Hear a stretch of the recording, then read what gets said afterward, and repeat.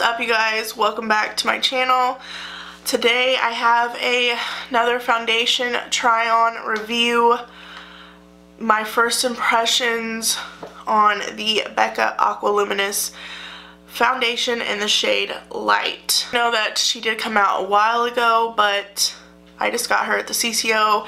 If you guys did watch my last video which was a little haul slash shop with me, um, I picked her up. So we're gonna go ahead and get started.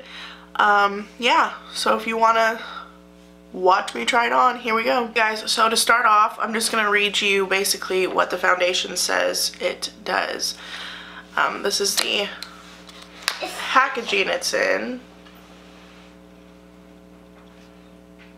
This is the Aqua Luminous Perfecting Foundation in the shade Light. It says veil your skin with foundation coverage that feels water light. While it evens and perfects the complexion, each weightless fluid drop imparts subtle luminosity that blurs imperfections and creates a soft focused glow. With a range of flexible shades with light, buildable coverage, Aqua Luminous Perfecting Foundation imparts a healthy, natural glow. And this also says the light shade is light with neutral undertones, so that's what I got and it does retail for $44 online. Um, but I recently picked this up at the cosmetic company outlet store and got it for half of that. So it does say to shake up very well, so that's what we're gonna do. I'm gonna do half my face with a beauty blender and the other half with a brush. It does have to where, you know, you twist it when you open it, so you actually like pump the foundation into the tube. Did you hear that? I go in with the Porefessional Hydrating Primer. And even though it is light, they did have like porcelain and fair, but they were super pale.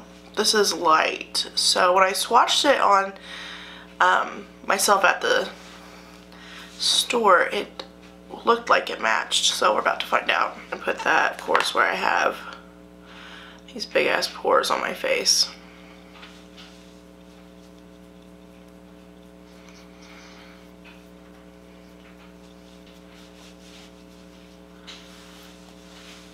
Okay. So let that sit for a second and then we'll go in with the foundation. Okay, so now we're gonna go in and I guess this right side is gonna be the brush.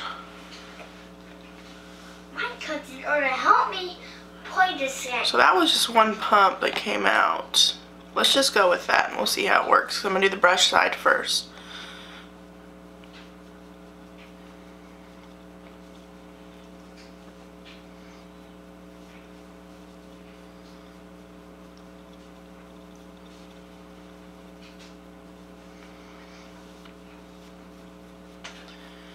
Well, it does feel very light, like it said.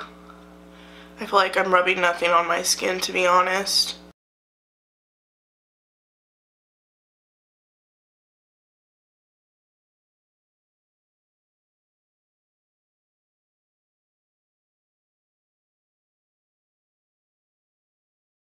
Okay, so now I have a, literally a drop on each side of my face. This side is with the brush, this side with the Beauty Blender.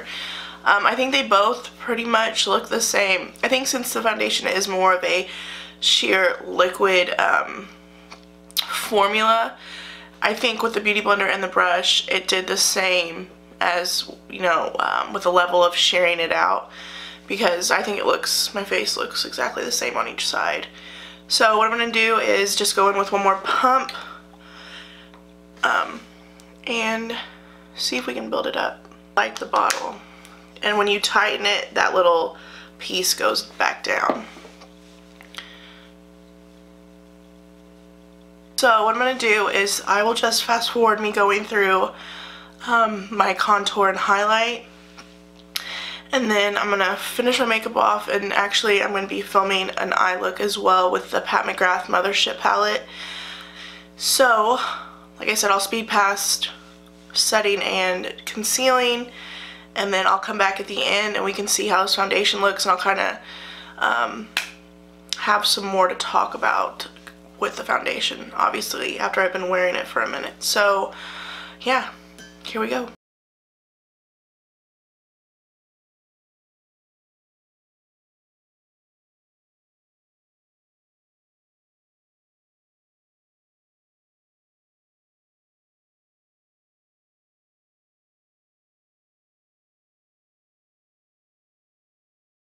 Okay guys, so I finally finished my makeup and now we can talk about this Becca foundation. Um, I like it. So far so good.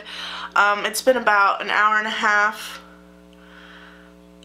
maybe two, since I put it on. Um, I was filming, like I said, another eye look with the Pat McGrath palette. Um, but I have noticed I am a little bit more dewy. I'm not as matte.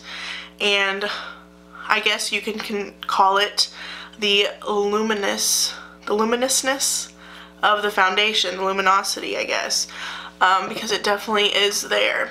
I did set it with a, um, the Charlotte Tilbury perfecting powder under my eyes and I went in with the Dior um, I think it's Nude Air or something. You guys seen it in the video. The powder for all over. So I definitely think everything came together pretty well and I'm excited to keep using this more. I want to try it with a different primer maybe. Um, but I'm excited to see how it will wear throughout the day. Nothing bad to say about the foundation as of now. Um, it was a little, for being the shade light, I think it was a little a little tad darker than most of my foundations that are in light. But um, I'm just glad I finally got to try this out. I've been seeing this baby since it launched. It's been a couple years already since this first came out and I've always heard great things about it but I've never really picked it up. I never was like, oh, I must go try it now. But since it was half price at the CCO, I was like, you know what? It's a sign from the makeup gods. I should go ahead and try it. So I did, and here we are. Um, I'm gonna bring y'all a little bit closer so we can see. Here is what my face is looking like. I don't feel oily. I don't think I look oily. I think I look like I have a glow going on. And that's what I like about it. So, here we go a little more closer. But as you can see, I got kind of this acne bumps going on, but that's nothing new. So, let me know if you guys have tried this already. I know I'm probably late on it and you guys were like, we Jessica, this is like 20 year old foundation. Even though it's not, you know, with everything that comes out all the time, it's kind of hard to keep up with what's newer, what's been out for a minute. So, I really like how it came out. I'm loving this look all together. I think the makeup came together great. If you're wondering what gloss I have on, it is the Becca Glow Gloss in Ruby Fire. I actually have it on over the Bare Minerals Attitude lip liner. So yeah, that completes my review try on of the Becca Aqualuminous Foundation. I hope you guys enjoyed the video. If you did, you know the drill. Please make sure to give it a thumbs up, subscribe if you are not, and of course, I will see you guys in my next video. Peace out.